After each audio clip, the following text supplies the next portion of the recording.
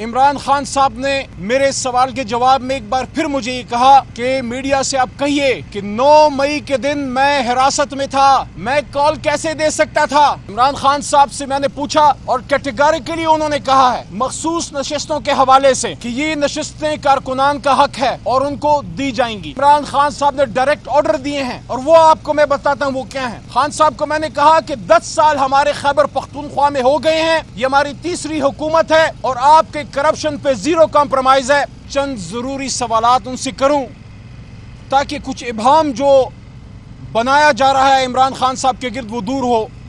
सबसे पहले और सबसे इंपॉर्टेंट सबसे अहम बात, इमरान खान साहब ने आज मेरे सवाल के जवाब में एक बार फिर मुझे ये कहा कि मीडिया से आप कहिए कि 9 मई के दिन मैं हिरासत में था।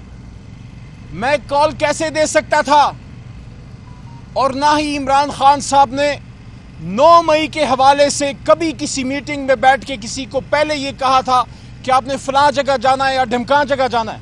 हाँ उन्होंने कहा कि 9 मई से बहुत पहले 18 मार्च को, जब उनको गिरफ़्तार करने की नाजायज कोशिश की गई थी जुडिशल कम्प्लेक्स में भी, और उससे पहले जमान पार्क पे भी जब उन्होंने घेरा डाला था तो इमरान खान साहब ने यह बात की कि मैंने कहा था कि आपने पुरमन एहतजाज करना है। पुरमन एहतजाज करना है। लेकिन 9 मई के हवाले से ना ही इमरान खान साहब ने कभी कॉल दी है और ना ही 9 मई के हवाले से किसी को यह कहा कि इधर जाएँ, उधर जाएँ।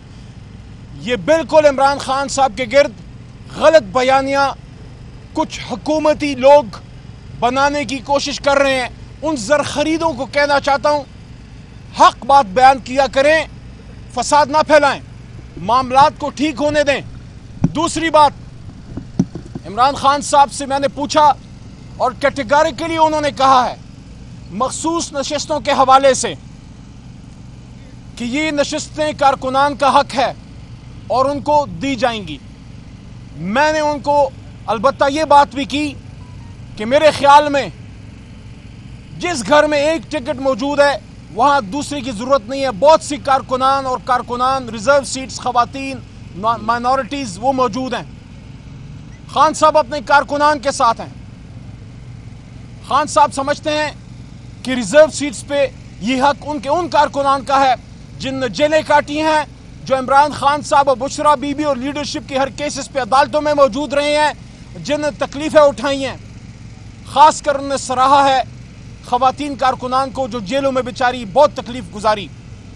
तीसरी बात जो मेरे दिल के बहुत करीब है, और मैंने इमरान खान साहब को ये बात की, और आज इमरान खान साहब ने डायरेक्ट ऑर्डर दिए हैं, और वो आपको मैं बताता हूँ वो क्या है। खान साहब को मैंने कहा कि 10 साल हमारे खैबर पख्तूनख्वा में हो गए हैं, ये हमारी तीसरी हुकूमत है, और आपके करप्शन पे ज़ीरो कॉम्प्रोमाइज है। आप डायरेक्शन दीजिए।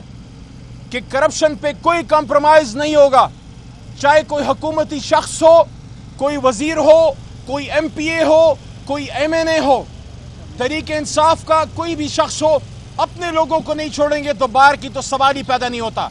और इसी वजह से इमरान खान साहब ने आज बैरिस्टर सैफ जो हमारे खैबर पख्तूनख्वा के इंफॉर्मेशन के अहदे पे एज ए मिनिस्टर ड्यूटी दे रहे हैं उनको इमरान खान साहब ने मेरे कहने पर डायरेक्ट ऑर्डर्स दिए हैं कि आप अली अमीन खान गंडापुर और ब्रिगेडियर मुस्तक अब्बासी साहब जो वहाँ एहतसाब को देख रहे हैं, कि आप वहाँ करप्शन के पीछे जाइए और जो शख्स भी करप्शन कर रहा है कमीशन खाता है, चाहे हुकूमती हो या कोई और हो, सियासी बुनियाद पे नहीं।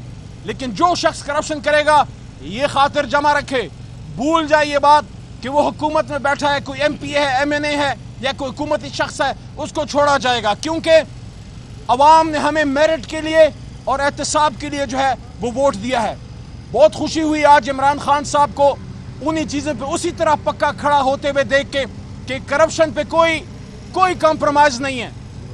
नौ मई के हवाले से उनका वही बयानिया है जो पहले दिन था कि ना मैंने कॉल दी और ना मैंने किसी को कोई जगह बताई है। नौ मई के हवाले से कि आप नौ मई के दिन जाके यहाँ एहतजाज करें वहाँ एहतजाज करें। और रिज़र्व सीट्स के हवाले से इमरान खान साहब की क्लियर डायरेक्शन है कि इसमें किसी सूरत में हम ज्यादती नहीं होने देंगे।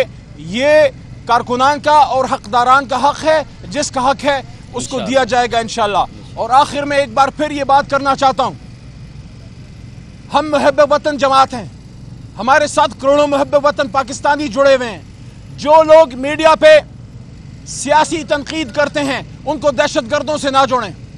डिजिटल टेररिस्ट की जो तरह मुतारफ कराई गई है, उनको कहना चाहता हूँ दहशत गर्दी में और तनकीद में फ़र्क है। लोगों की जवाबबंदी नहीं होनी चाहिए। हाँ जो लोग रियासत के खिलाफ हैं, जो इस्लाम के खिलाफ या हमारे इदारों पर हमलावर होते हैं, उसके खिलाफ हम सबका बयानिया एक है। लेकिन हमारे बेगुना सोशल मीडिया वर्कर्स, जिस तरह हमारी लीडरशिप है, हमारे जो कारकुनान दफ्तर से और मुलाजमीन गिरफ़्तार हुए हैं, रफीक बेचारा बलोचिस्तान से वहाँ तीस चालीस हज़ार का मुलाजिम होगा। उसको आपने क्यों गिरफ़्तार किया है? उसके साथ हमारे अलवी हैं। आरिफ अलवी साहब नहीं हमारे दफ्तर में हमारा एक भाई है अल, अलवी। उसको उठाया गया है। जिस तरह आप जी जिस तरह आपने राशिद भाई हमारा मैं तो जब से पीटीआई में हूँ मैं राशिद भाई को देख रहा हूँ। जिस तरह आपने राशिद भाई को उठाया है क्या जुल्म है? वो तो एक एक तरीके इंसाफ का एक बुनियादी कारकुन है, ना एमपी है, ना मैंने है, ना उसका सोशल मीडिया से कोई लेना देना है, ना वो बेचारा इन चीज़ों को समझता है।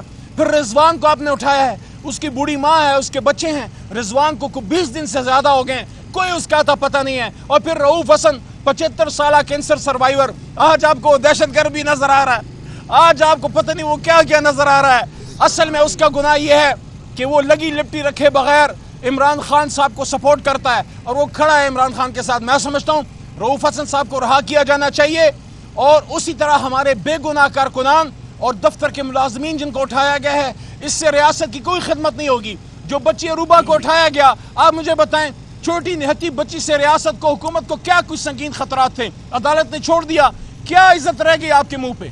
अदालत ने तो आपके 11 लाख कहते हैं जनाब 11 लाख वो अकाउंट चला रही थी। वो बच्ची बेचारी किस तरह से चला रही थी अकाउंट इसलिए हम कह रहे हैं, ये मसाइल का हल नहीं है। हुकूमत को आखिरी बात करना चाहता हूँ। आखिरी बात, और ये बहुत अहम है। इमरान खान साहब ने इसको आज वाजे किया। मैं मौजूद था, इंतज़ार पंजोथा मौजूद थे, बैरिस्टर सैफ मौजूद थे। इमरान खान साहब ने कहा, हमारे आज भी वो मुतालबात हैं। असीरान की रहाई इमरान खान ने कहा, और हमें हमारा मैंडेट वापस दिया जाए। मैंडेट जब वापस मिलता है, उसके बाद नए इलेक्शन की तरफ़ जाने का सोचा जाएगा। लेकिन हमारा दूसरा बड़ा मुतालबा आज इमरान खान साहब ने अडियाला में कहा है कि असीरान की रहाई अपनी बात आज भी कौम के लीडर ने नहीं की।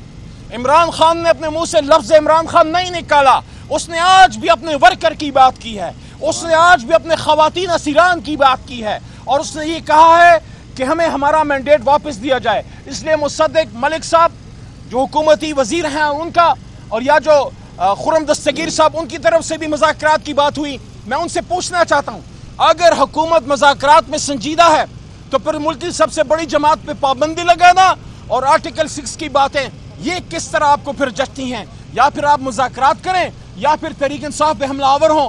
लेकिन हम, अगर पॉजिटिव मुजाकर होते हैं रिज़ल्ट ओरिएंटेड मीनिंगफुल जिसमें असीरान की रहाई होती है और मैंडेट की वापसी, उससे मुल्क के मसाइल का हल निकलेगा। इदारों से लड़ना हमारा मतम नज़र नहीं है। हम इस्टेब्लिशमेंट या इदारों के कोई दुश्मन नहीं है।